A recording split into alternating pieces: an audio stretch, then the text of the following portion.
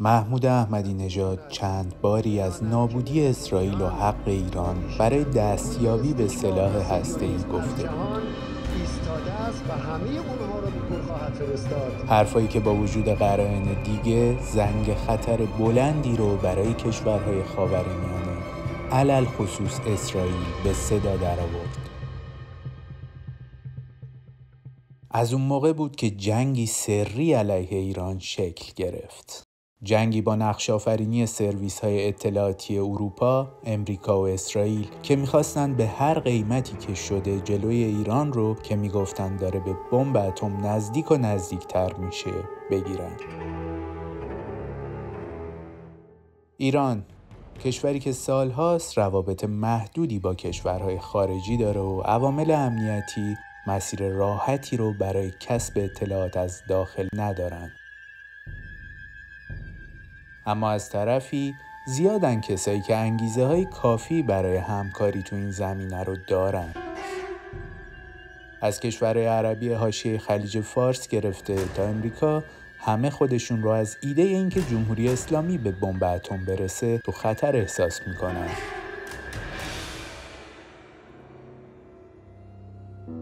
یکی از اولین راههایی که تو سال 1381 برای کسب اطلاعات راجع به برنامه هسته ایران استفاده شد رصد ماهواره ای بود.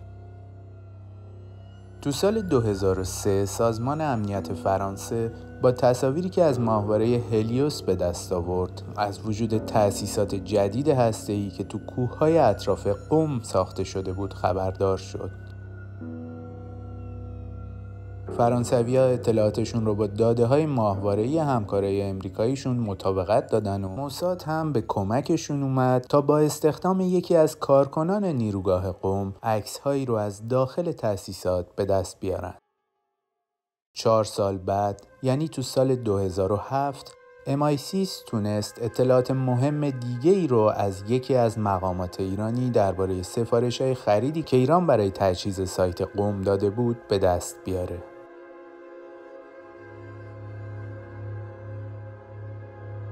و در نهایت شکی براشون باقی نموند که حکومت ایران داره مخفیانه اقدام به غنیسازی اورانیوم می‌کنه.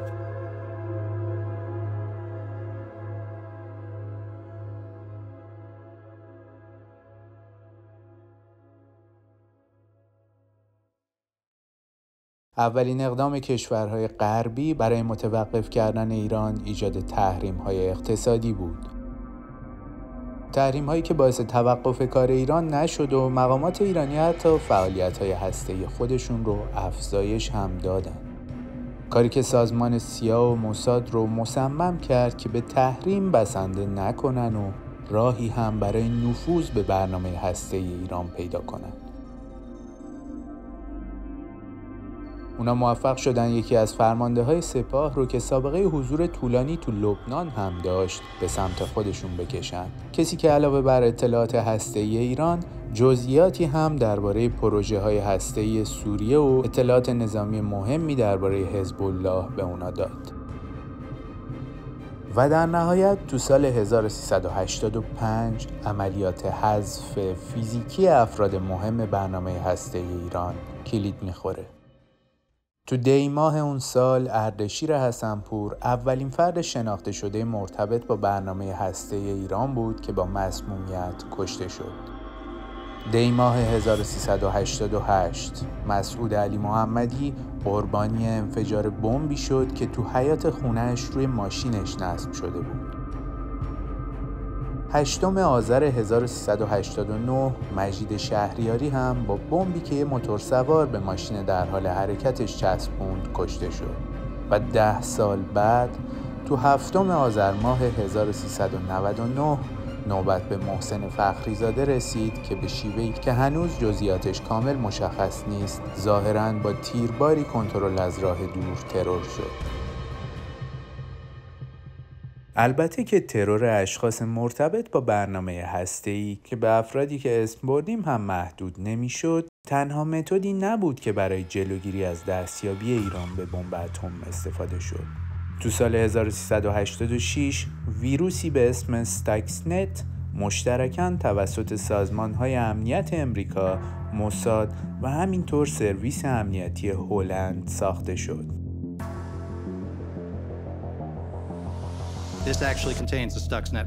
اولین سلاح سایبری دنیا که تو عملیاتی به اسم بازی های المپیک وارد نیروگاه نتنز شد و کنترل فیزیکی تجهیزات اون رو به دست گرفت.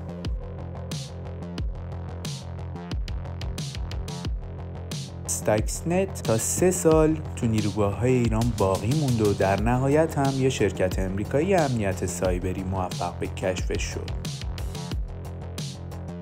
اما این پایان جنگ سری نبود مهر ماه سال 1389 مرکز نظامی امام علی متعلق به سپاه پاسداران دچار انفجار بزرگی میشه. تأسیساتی زیرزمینی که تو کوههای نزدیک خرم تو غرب ایران ساخته شده بود و تحت حفاظت شدید نظامی و امنیتی بود. خبرگزاری های ایران این انفجار رو تقریبا مسکوت گذاشتن. اما روزنامه فیگارو و رسانه های اسرائیل اون رو به موساد مرتبط دونستند. حمله که با توجه به حساسیت و حفاظت این مرکز نظامی این تصور رو به وجود آورد که شایدم پای حمله هوایی یه ارتش خارجی در میون بوده. یکی دیگه از حوادثی که تو سالهای اخیر اتفاق افتاد انفجار سال 1399 نیروگاه اتمی نتنز بود انفجاری که نیویورک تایمز تخمین زد تا دو سال رسیدن ایران به بمب اتمی رو به تأخیر میندازه. اما یکی از کارهای تاثیرگذار موساد تو این جنگ خروج ده ها هزار سند مربوط به برنامه هسته ایران از تهران بود.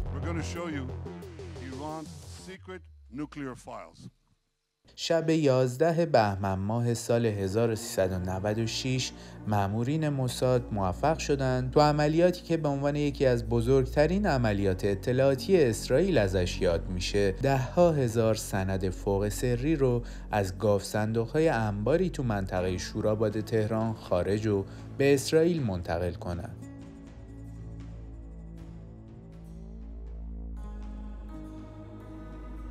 بنیامین نتانیاهو تو کنفرانسی مطبوعاتی که بعد از این عملیات برگزار شد گفت که بر طبق اطلاعاتی که از این اسناد به دست اومده حکومت ایران هیچ وقت از تلاش مخفیانش برای ساخت بمب اتم دست نکشیده.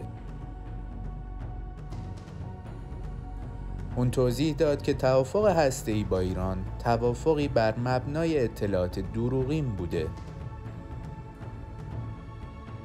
اسنادی که بعد از این که اصالتش توسط امریکا تایید شد باعث شد ترامپ امریکا رو از برجام خارج کنه تا ایران چالش های بیشتری رو برای پیش برد برنامه هسته ایش پیش روی خودش داشته باشه.